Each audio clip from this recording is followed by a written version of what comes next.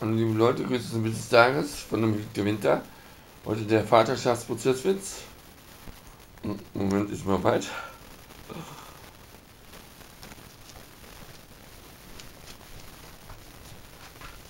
Hallo liebe Leute, Grüße zum Witz des Tages, wie fast jeden Tag. Heute der Vaterschaftsprozesswitz.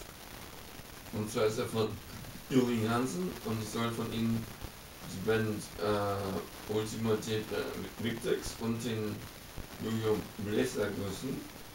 Und der Julio hat mir den Witz bei Facebook geschickt, könnt ihr auch. Der Vaterschaftsprozess, der geht so, äh, zum Vaterschaftsprozess begleitet äh, sie die beste Freundin. Und dann fragt der Richter die beste Freundin, äh, und haben sie auch eine Ladung bekommen? Nee, mich hat er nur geküsst.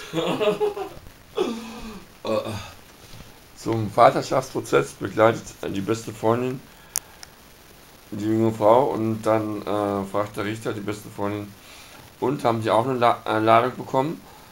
Nee, mich hat er nur geküsst. Und Erklärung, äh, der Richter fragt, haben sie auch eine Ladung bekommen? Das heißt, eine Einladung, ähm, eine Vorladung, dass sie zu Gericht kommen sollen, irgendwie als Zeuge oder so.